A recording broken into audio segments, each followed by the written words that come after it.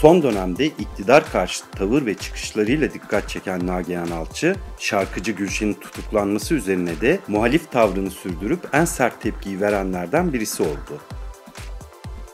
Hakim ve savcıları hedef alan Nagihan Alçı, Gülşen'in tutuklanması tam bir hukuk cinayeti. Yargısal aşırılık bu dedi.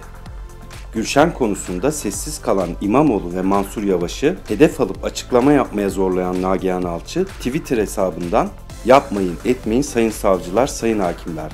İnsaf lütfen. Adalet mi şimdi bu? Gülşen'in sözleri çok çirkindi ama özür metni çok samimi, çok içtendi. Numaradan bir özür değildi. Gülşen özgürlüğüne kavuşmalı paylaşımını yaptı. Nagihan Alçı'nın bu paylaşımını alıntılayan güzel oyuncu Elçin Sangu, kendisini daha önce savcılığa veren Nagihan Alçı'ya hakaret içermeyen tweet attığım için beni savcılığa verdiğinde yurt dışına çıkma yasağı istemek, kişisel eşyalarıma el konulmasını istemek, gizlilik kararı istemek aşırılık değil miydi? Yemezler demokrat tavırları diye tepki gösterdi.